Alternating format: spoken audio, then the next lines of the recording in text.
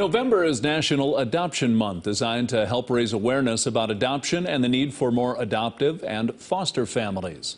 Today, KELOLAND's Bridget Bennett is showing us what modern day adoption looks like. Just about everyone knows someone who's been touched by adoption, and you've likely seen dozens of these viral posts of adults who were adopted as babies now searching for their biological families.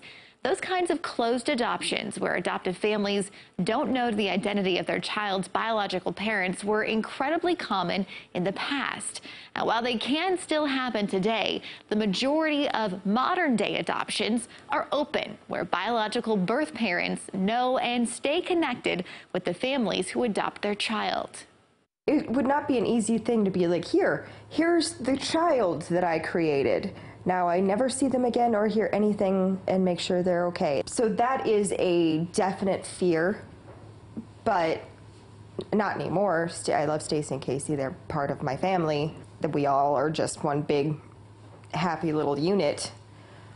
Strange that we are. We wanted the girls to know that they're absolutely loved and that this, you know, was not somebody who does not want them. That's absolutely not the situation. And so we've that's really been our focus has been the girls the whole time. Just look at those cheeks.